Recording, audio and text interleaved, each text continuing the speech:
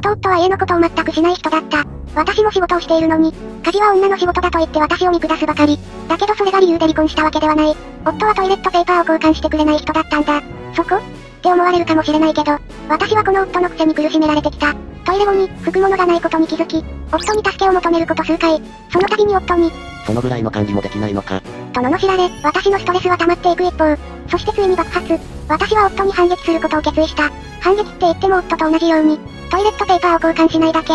だけど私の行動に夫は大激怒。トイレットペーパーがないぞ。なんでそんな簡単なこともできてないんだ。長文メランな発言をしていたよ。それにカチンときた私は夫にトイレットペーパーを持っていかなかった。